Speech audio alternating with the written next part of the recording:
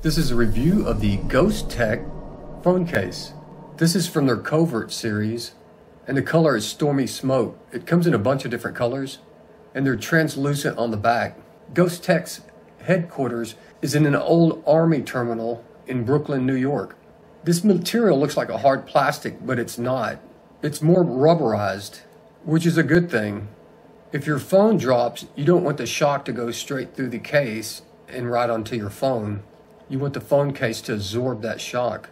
In the past, I've always used Spigen's cases. They're made out of Germany, and they've always fit the phone perfectly. Spigen is derived from two German words, Spieg, which symbolizes the ever-changing nature of technology, and Gen, symbolizing the solution for a perfect fit. Also, their cases are rubberized, so it absorbs the impact. Also, one of the good things is on the side, the lip comes up to protect the front of the phone. Now, the reason I had to go with Ghost this time, I looked at all the Spigen cases, but none of the cases for the Pixel 6 Pro had a lip that covered the front of the phone. The Pixel 6, just like some of the phones, you can see it's rounded on the edge. So what Spigen did on all their cases is they made the lip of the phone come down. I guess they were afraid that your finger might not be able to touch the edge of the screen.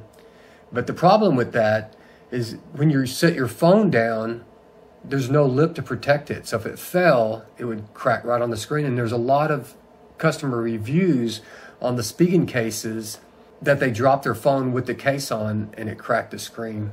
The Ghostek is the only case I could find that the lip comes up to protect the screen. Let's take a look at this.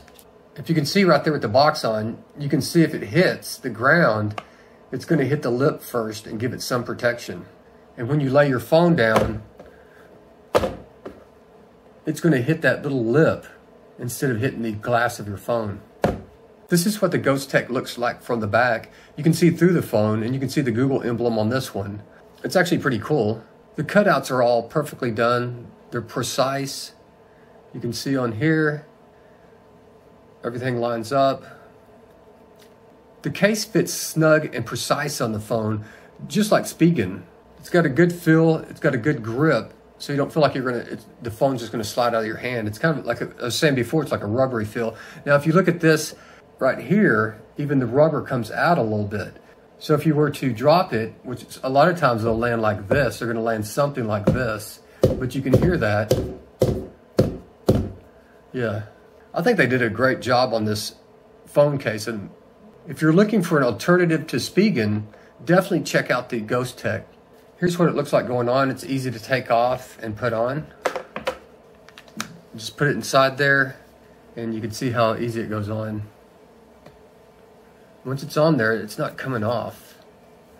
If you have any questions or comments, please leave them below. I'll be more than glad to answer them.